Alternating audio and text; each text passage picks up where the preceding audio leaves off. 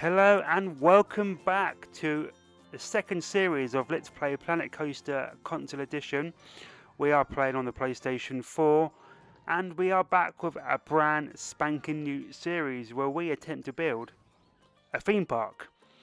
Now hopefully you did catch the uh, the previous series where we built a um, a Christmas fun fair, a Christmas style fun fair uh, event, something like that.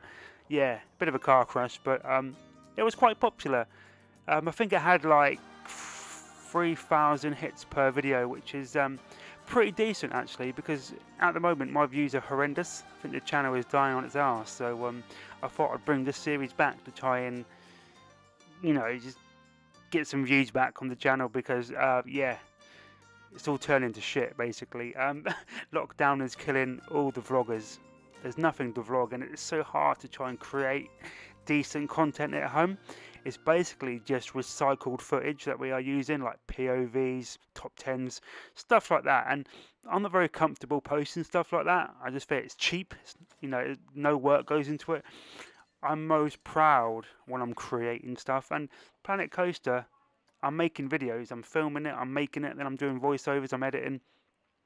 So the whole process just feels like. Uh, you know, it feels like I'm doing something, feels like I'm making something, and that is important to me because it keeps me busy as well. Because you know, lockdown, there's not a lot to do, and you, you could drive yourself stir crazy. So it keeps me active, and hopefully it entertains you. Right, let's get into it. We are building a spooky theme park using the um, Spooky Pack downloadable content that was released um, a few weeks ago. So basically, we are making a theme park themed around scary stuff. So we will be theming the rides up with jack o' lanterns, stuff like that. We are going to make, you know, an attempt to build a theme park. I'm definitely no theme park expert, and there is much, much better Planet Coaster videos on YouTube. Obviously, some of the other channels do them, and they they make amazing stuff. They they really do. The stuff they can create from scratch is um, way out of my league but this is what keeps my content niche. The fact that I'm crap at it. So, so hopefully it will stand out for that reason. That I'm basically using blueprints and just plonking stuff everywhere and not really, you know, not really being very good at the game. Uh, my excuse is I've only had it a month or so, where these other channels have had it years on PC, and it is much easier on PC using a keyboard and mouse. So hopefully that will make my content stand out just a little bit um, yeah. So hopefully you'll enjoy it and we can go on this journey together and hopefully, I keep saying hopefully, and hopefully by the end of this series we'll have a fully functioning theme park. We are going to be sticking stuff like roller coasters in, we are going to try and get some traditional generic flat rides in, not the kind of stuff we put on our travelling fair. We are going to go for some more static uh, flat rides that you would find traditionally at a, uh, at a theme park. Now, I have been to quite a few theme parks in my time. Obviously, I'm known for fun fairs, and I prefer fun fairs. But I, I do I do enjoy a theme park. Um, yeah, I've been to all the major theme parks in the UK. Um, I like to keep that on the down low though, so don't tell anybody because um, I don't want to ruin my street cred. So just keep that under your hat for now, please. Thank you. So yeah, like a, you know, this, is, this isn't going to be a stunning, immersive, well-themed Disneyland type venture park. It's going to be, it's going to be crap. I'm going to level with you straight up the, you know, straight away. I'm going to level with you. This is going to be bloody terrible, but hopefully we can have a laugh along the way, and uh, yeah. so we are just plonking down some ready-made theming. You're not going to see me build nothing you know, I'm just, I just can't do it. I'm going to be honest, I can't do it. I'm, you know, it, it, took me about five hours to try and build a uh, a token booth for my fair. I just give up in the end. I just can't do it. I haven't got the patience or the skill, or to be honest, or the energy. So the the prefabricated blueprints on this game are absolutely fantastic, and we are just going to put them to good use. So I'm aiming to try and get I mean, I, would would like about four coasters, four major coasters, a few flat rides, maybe like a log flume, we can put that in. I'm going to get a ghost train in there as well, obviously, because it is a spook park. And we're going to get some um, go-karts in it, maybe? A play around. You know, you let me know in the comments what you want to see, and I will try and put it in. Uh, in terms of layout and structure, I have no bloody idea what I'm going to do. I am going to wing this. I'm just going to wing it and see how we go. I love the way the guests like Kara, Kara, when they walk past something scary, they're like they're like hide their faces in fear. It's really good touch actually. This is what I mean about some of the blueprints. It's just a skeleton. I'm just gonna plonk him down there. No real thought's gone into it. I am just grabbing a bit of theming and sticking it on the grass somewhere. But uh, like with with the fair, you saw by the by the last episode, episode five, I think it was. You saw how it really come alive you know, we start from a blank canvas and you can you can create something pretty decent. Um, even someone that lacks the knowledge like me and lacks the actual skill of the game, you can come up with something half decent. And I think my fair that I built was um was pretty good. And it's the, it's the commentary that makes it. I mean, do, I'm just giving you something to look at on the screen, but you really hear from my um, sexy voice, aren't you? From my beautiful, beautiful commentary, because that's what makes these videos is me. Uh, I think. I hope it is. Otherwise, you, you you'd have buggered off by now because the content on the screen is utter crap. Um, right, we are now sticking in a Street Fox coffee. Other brands are available, but I'm telling you now, Street Fox is the absolute daddy. You can get stuff like uh, mochaccino, a frappuccino, a latte, an espresso. You can get a flat white. Honestly, we do all your your basic coffee styles. We even do steamed milk. So yeah, Street Coffee. Um, this isn't sponsored by Street Coffee, by the way. This isn't a paid video. I'm just really, really bigging them up. This is the thing I love, like the little little touches, like the um, jack o' lanterns. They give give you a little bit of light, and they look really good. So we are going to place a few of these down just to just to light up this kind of walkway we got going on, like the entrance to the park, we need a bit of light down here. So I'm going to stick some of these jack-o'-lanterns down. Looks like the old Jack Skellington one. That's brilliant. They do give off quite a bit of light, as you can see there. They're not too bright, but they just they just light the path nicely so the guests can see where they're going. and they add that little bit of uh, theming. Theming. I'm going to sound like a proper theme park fanny by the end of this series, aren't I? oh dear, oh dear, oh dear. I hope Simon's not watching. So yeah, we are going to aim for a few coasters, a few flats. We'll get some like, um, put a restaurant in there maybe, stuff like that. Even a hotel no, maybe not a hotel. We're not going to go crazy. We're not going to go absolutely insane with this. We are just going to just showcase a few rides. Right, now on to the street lights. Need a few of these as well. The jack-o'-lantern just didn't quite do it for the light. You need a, a few street lights as well. Because we want happy guests. You know, we want, to, we want them to leave with a smile on their face. And they need to be able to see where they're going in terms of different areas, I'm not sure yet. I mean, I don't know how much of this spooky theming I can get away with. Obviously, I don't want to overdo it. So maybe we could do like a little area that's like dedicated to Halloween, a spooky area, and maybe we can move on to like a western area. Um, what else have we got? Like a fairy tale, fairy tale area. Just trying to think what kind of scenarios we got going on in the game. We've got theme, we got um, Western, we got sci-fi. I think there's a few, so we'll look into that because I don't want to. I don't want the spooky theme to outstay its welcome. But this is pretty cool. We are just putting in a makeshift graveyard here on the grass. Just a few of these tombstones. You know, that already looks ten times better. So, you know, you, you can get a little bit creative. Nothing too crazy.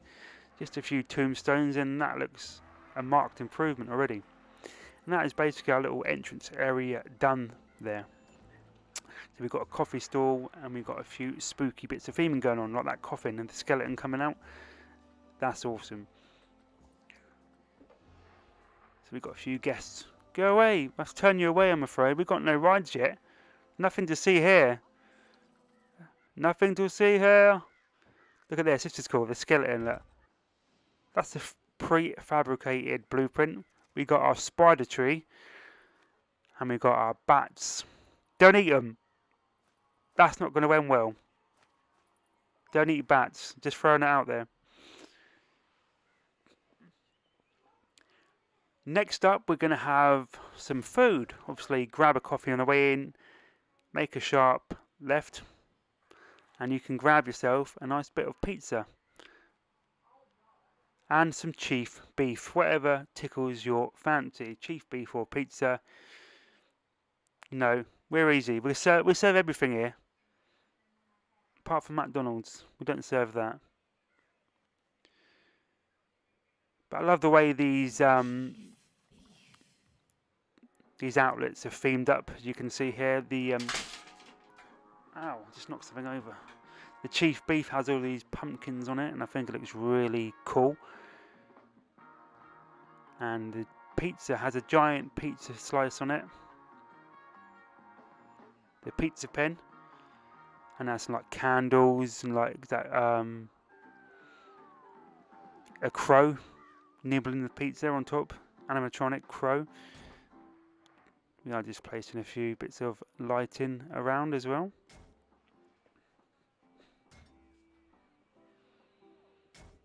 Yeah, I did. Yeah, I decided to get rid of that. That looks absolutely terrible. I don't know what I'm thinking. Just placing all these um, street lamps in a row. It looks awful. So I do get rid of that. yeah, it's all tri trial and error, isn't it? Trial and error with this game. So we are going to place a couple of benches down just so they can sit and eat their um, pizza slice. Now, let me know in the comments what you think of this new microphone. Obviously, I was using the Blue Snowball, which is a very, very popular microphone, especially on YouTube and streamers. It's like one of the most popular. Um, but I had real issues with it. It, worked fine up until like episode when I tried to record another episode. Um, the audio is all static and like really bad fuzzy noise in the background and I tried to fix it. I like literally spent hours searching online for a, for a fix and couldn't find anything. And in the end, I've just just literally had to buy a whole new microphone because I wanted to continue the series. My MacBook actually has an inbuilt microphone, but it sounds dog shit, so I'm not using it. So the new one I'm using is actually it's called like the, brand name is Tonor. Uh, it's forty pound on Amazon, and it's actually really nice. It comes with a built-in pop filter as well, so you haven't got to buy that separately. Honestly, sometimes you are better off just going for like the unknown brands. Like the brand names, expensive brand names, aren't always the best, and I'm really disappointed with the um, with the blue snowball microphone.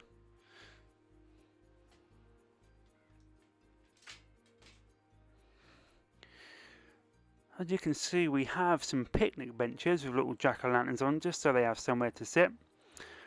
I'm pretty impressed. I think it's starting to take shape. It looks good. I like our little entrance gate there with the little with the jack-o'-lanterns hanging.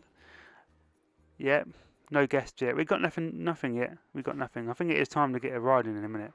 We're just going to place a few of these spooky-looking bins around the park because um, we want our guests to be tidy. We're not savages. We don't litter in my park. That's another thing. Anyone watching, can you name my park? I'm going to take suggestions of a park. I mean, I was just going to go for like Spook Park, but it sounds crap. So if you if you can think of any good names that we can call our park, let me know in the comments. Here we go, our first ride, and look at the size of this beast. This is the ghost train. Um, I could never build anything as good. That's why I don't mind using blueprints because look at this. I could never build anything that would compare to this. Never. So I'm not going to try. I'm just going to cheat and use this.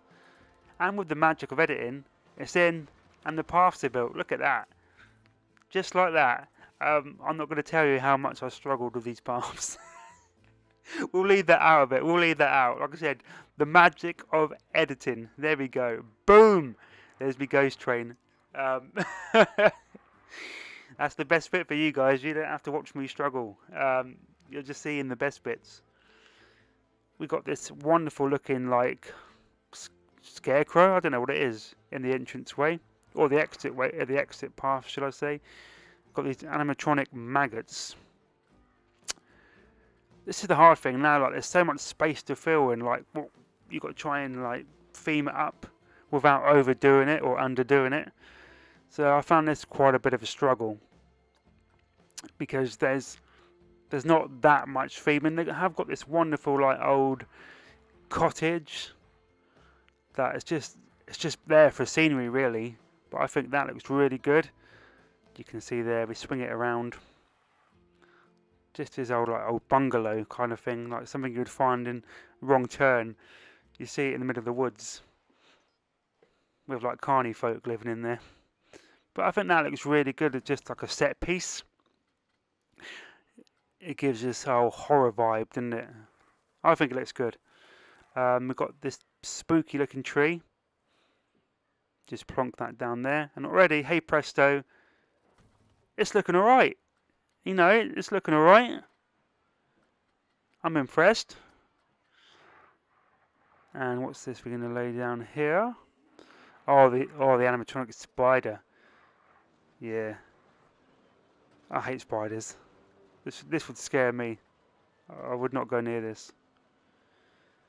So there is some like some really good animatronics.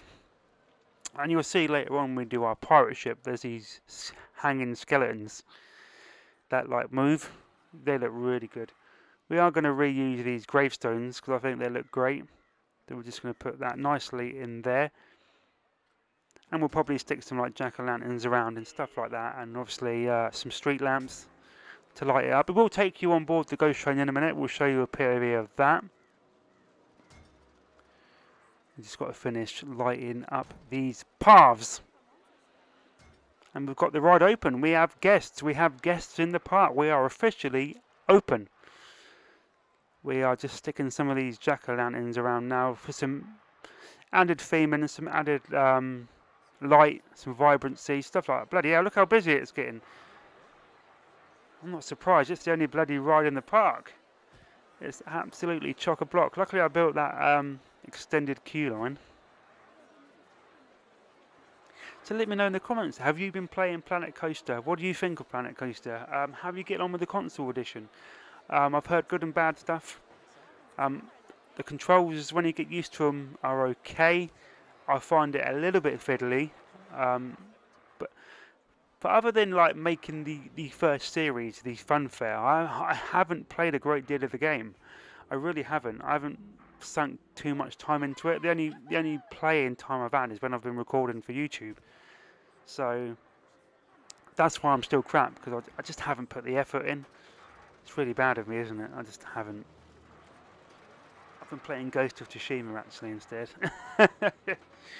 but um, these YouTube videos gives me a perfect excuse to get back on the game.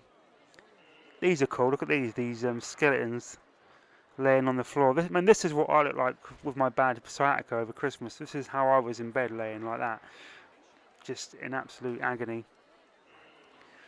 You've got stuff like this as well. You can just plonk down, just to give it some added um, oomph. You know. Here we go then. All aboard the ghost train. Um, it's better at night, but we are going to get a daytime POV, so you can see a little bit better. Here you go. You've got your grandma's wallpaper in here. You've got a chandelier That a um, as a near miss element. Got an open fireplace, got a chair rocking, really good.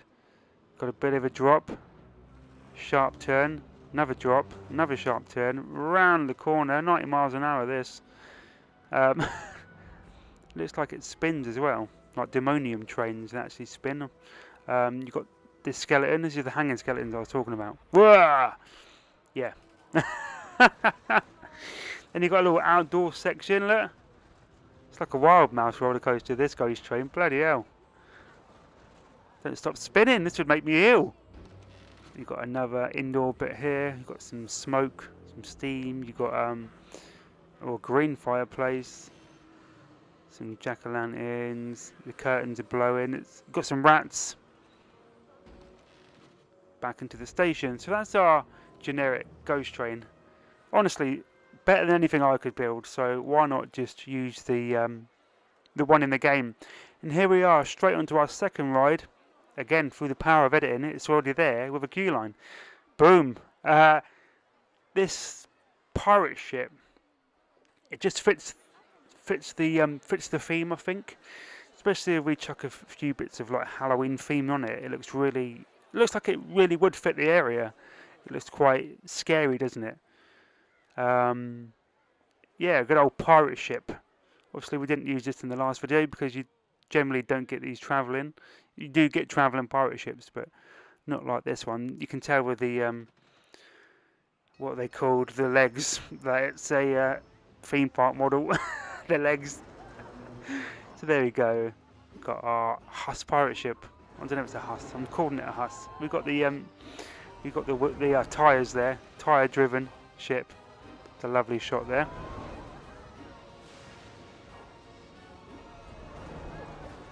So we are going to use all new rides in this episode. Get a few coasters down. But that's a lovely geek shot. Look at that with the tyres. So that is our pirate ship. Again, look at the queue. We are getting a big queue. Two rides in now. We're two rides deep. We are going to get um, a cheeky op, op cabin view. There we go guys, don't forget to like, comment and subscribe, it does help the channel and we are closing in on 15,000 subscribers which would absolutely, absolutely mean the world to me, it really, really would especially after the year we've had with COVID and stuff, to, to hit that milestone would be incredible. Right, anyone who's ever vlogged, you know how awkward this is when you're vlogging on the pirate ship, POV, and you're literally pointing the camera straight at all those other people. It is the most awkward thing ever. I tend to offset the camera to the side so it's like facing outwards. I, can, I can't just point the camera um, random people. It's really, it's, it's a really odd feeling. And remember, if you are going to be sick, be sick on the upstroke so it lands all over the people in front of you and doesn't come back and land in your own face. yeah, um, POV on the pirate ship. If you've done it, you'll know it's the most awkward thing ever. So here we are. We have people coming and going. I love the um, the jump scares here. Look. And as you can see, with the power of editing, we have um, put a few more bits of theme in. Here is our ghost train again now. It's much better at night. Get you some cinematic shots of the ghost train here going up the lift hill, around the bend, around the sidewinder. I don't know what these elements are, I'm just making it up.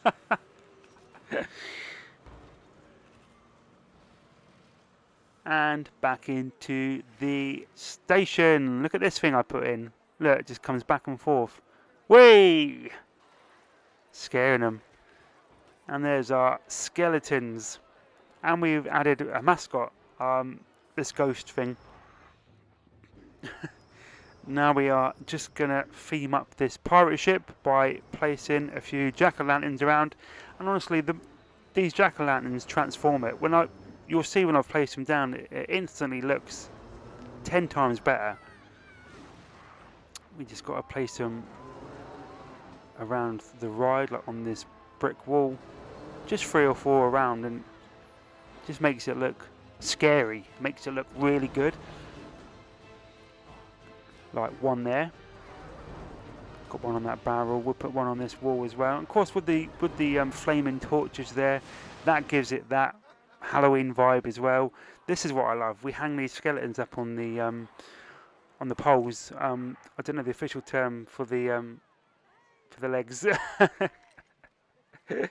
but yeah, we just hang these up and they're like they wriggle around and I think they look really really good just great little bits of theming like that and you can kind of turn any ride into like a Halloween themed ride of course you can change the color scheme the music so that's what we're gonna do boys and girls Just pinned one up there on the side of um, our coffee shop.